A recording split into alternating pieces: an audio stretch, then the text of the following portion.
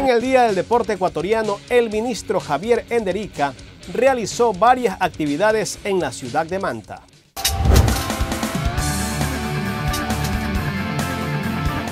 El ministro del Deporte, Javier Enderica, visitó las ciudades de Manta y Portoviejo para cumplir una importante agenda de trabajo en beneficio de la provincia de Manabí.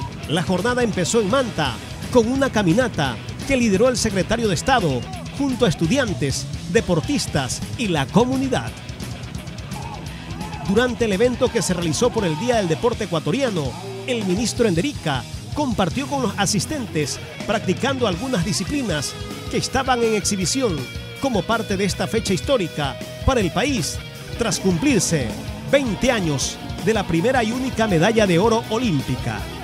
Hacer deporte, el deporte es tan transversal que está en educación, está en salud, está en inclusión, está en cada uno de nosotros, que nos genera vida, nos genera esperanza.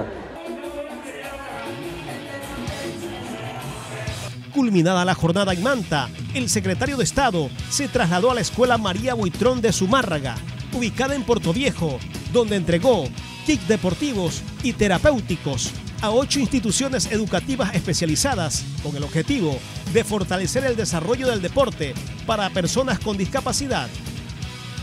A nivel nacional, el ministro del Deporte invierte 156.756 dólares en la entrega de implementos, beneficiando a 101 instituciones especializadas fiscales con el fin de masificar el deporte adaptado en las 24 provincias del país.